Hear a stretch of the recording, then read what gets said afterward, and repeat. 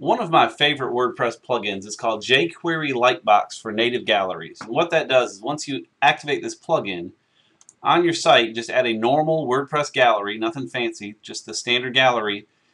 Um, what happens is when it shows up on your site, instead of linking off to that picture, you click on it, it shows it in a cool lightbox. It's really pretty slick and very, very simple. You can teach people how to use it very quickly because they just add a gallery and go to town. However, the new version of Jetpack now has its own cool automated gallery feature here called Carousel. So let's take a look at that real quick. So on this site, I'll go to Plugins. I'm going to deactivate the jQuery one. It'll get kind of weird if they're both going. Go into Jetpack and activate the carousel.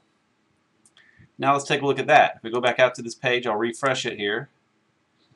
And now what happens when you click a picture, it loads this cool full screen carousel. You can click through uh, you can optionally have the EXIF data show. I have turned on right now. We can turn that off. That's another pretty cool way to view it. The only thing I don't like about this so far is that one little X is up here, and a lot of users may not notice that. It's a little harder to get out of, but it's kind of cool. So the question now is, you know, which one should you use? Both are very easy. Again, it's still just the normal gallery we've inserted in the page, so you don't have to do anything custom on your post. Just upload a bunch of pictures, chuck in a gallery, and it all looks pretty. So um, that's what the new Jetpack carousel looks like. I still tend to lean toward uh, the jQuery Lightbox. And here's another little tip, how to disable these guys.